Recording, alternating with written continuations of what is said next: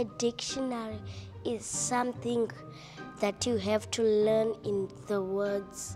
There's words and and there's questions. Dictionary is when you send a message to your mom when our teacher gives you a message to send to your mom or your dad. Dictionary. Dictionary is a very simple thing to do.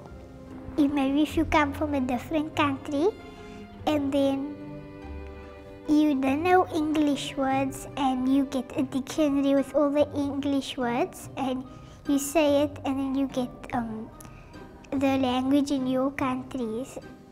A dictionary, I haven't tried to do a dictionary.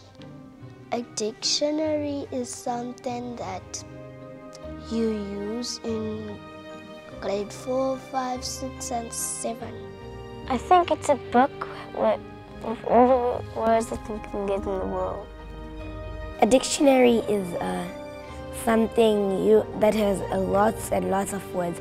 If you need any words, you just open your dictionary and look for the letter you need and then you read. I would like to have one because I don't have one.